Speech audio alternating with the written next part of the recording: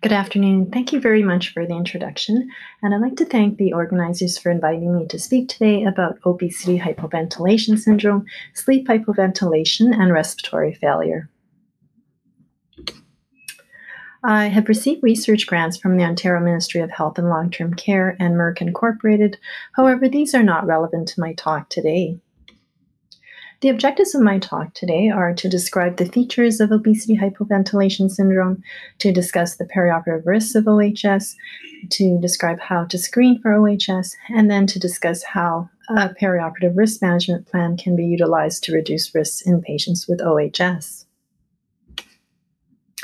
Obesity hypoventilation consists of a triad of obesity, so BMI greater than or equal to 30, sleep disordered breathing, and in 90% of cases, the sleep disorder breathing is obstructive sleep apnea.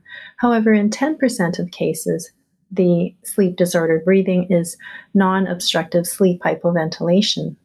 And the distinguishing feature between OSA versus obesity hypoventilation syndrome is the presence of daytime hypercapnia, defined as an arterial PCO2 greater than or equal to 45 millimeters of mercury. And other causes for hypercapnia should be excluded, such as neuromuscular, respiratory, or metabolic disorders. Sleep hypoventilation has been described as hypoxemia occurring during sleep, mostly during REM sleep that is not present during wakefulness. And this is confirmed by monitoring the PCO2 during sleep, and this is usually done with transcutaneous PCO2 monitoring during a polysomnography. Sleep hypoventilation has been attributed to OHS, uh, medications that impair ventilatory drive, such as opioids, and underlying pulmonary or neuromuscular disorders.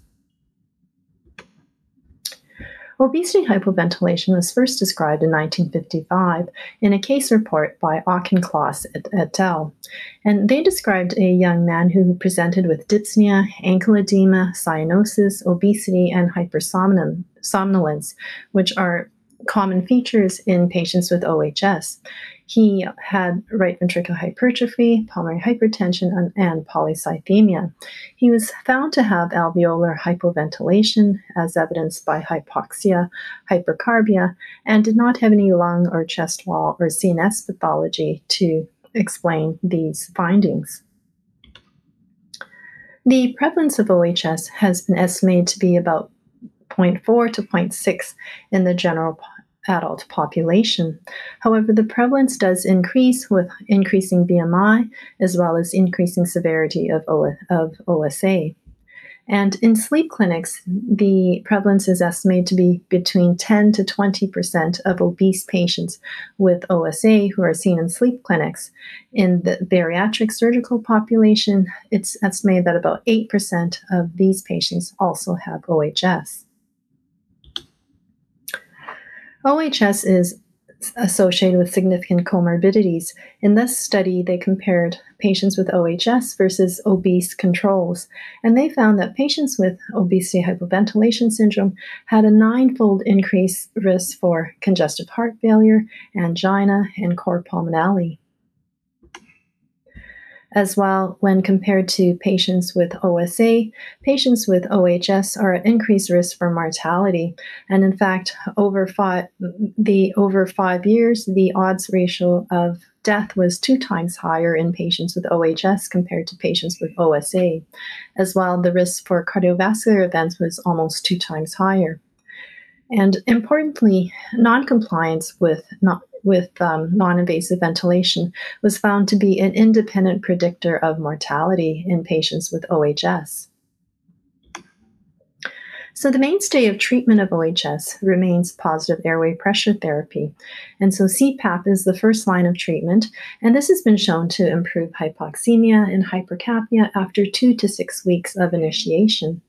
And when CPAP um, is uh, unsuccessful in relieving persistent hypoxemia, non invasive ventilation is recommended in the form of either bilevel PAP therapy or uh, ASV. So, uh, in uh, 2016 published this paper comparing patients with hypercapnic OSA to patients who did, had OSA but did not have hypercapnia. And so, in the hypercapnic group, this included patients with either definite or possible OHS and overlap syndrome. And he found that patients who had hypercapnic OSA had significantly increased risk for respiratory failure, heart failure, tracheostomy, and need for ICU transfer. This is a screening algorithm for patients with suspected OHS. And so, if uh, a prior sleep study result should be obtained if possible. If it has not been done, then a screening questionnaire such as the STOP-Bang questionnaire should be performed, and a PSG should be obtained when possible. A serum bicarbonate should be obtained in these patients who are suspected to have OHS. And if the serum bicarbonate is less than or equal to 27, this means that OHS is very unlikely. However, if the serum bicarbonate is greater than 27, this suggests the patient probably has OHS. And if the serum bicarbonate is greater than 27, or if the oxygen saturation is less than 90% or both, a arterial blood gas should be obtained. And if the arterial PCO2 is greater than or equal to 45, and then this establishes the, that the patient has OHS. Intraoperatively, a regional or local anesthetic should be used uh, if possible, and capnography should be monitored in these patients patients with OHS can be very difficult to mask ventilate and intubate. And so the patient should be positioned in the head elevated position, for example, with a Troop pillow, and nasal oxygen should be applied either low or high flow during laryngoscopy to minimize desaturation during laryngoscopy. As well, video laryngoscopes and difficult airway adjuncts, and a skilled assistant should be available to help with intubation as well, an awake intubation could be considered in these patients. Intraoperatively, short acting anesthetic agents should be utilized to ensure that uh, the patient recovers quickly after their surgery. And non opioid analgesics should be utilized. And the dose of opioids should be minimized in these patients. As well, minimal doses of neuromuscular blocking agents should be used, and when they are used, they should be monitored and reversed completely prior to extubation. These patients should be maintained in the semi upright position during emergence and recovery, as well as in the recovery room. Postoperatively, again, non opioid analgesics should be utilized to minimize the need for opioids after surgery, and positive airway pressure therapy should be resumed as soon as possible and even in the recovery room. And in addition, high, high inspired oxygen levels should be avoided and um, patients should not receive just oxygen, oxygen, but should also receive their PAP therapy if, if supplemental oxygen is given.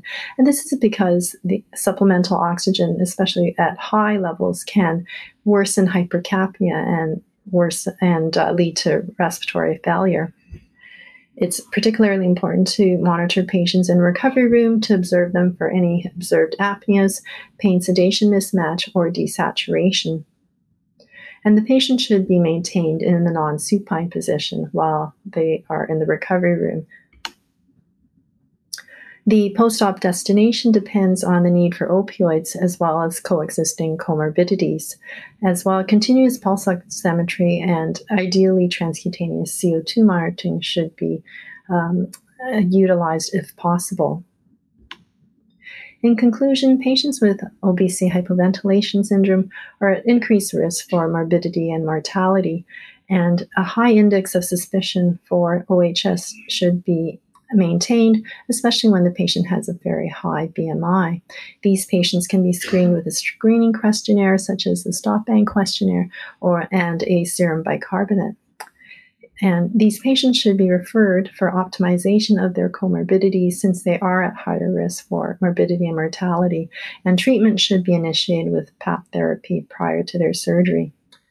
Perioperative precautions should be maintained to avoid complications in this high risk population. with particular attention to the airway, postoperative monitoring, and resu- resumption of PAP therapy. Thank you very much for your attention, and I am um, open to questions during the Q&A session.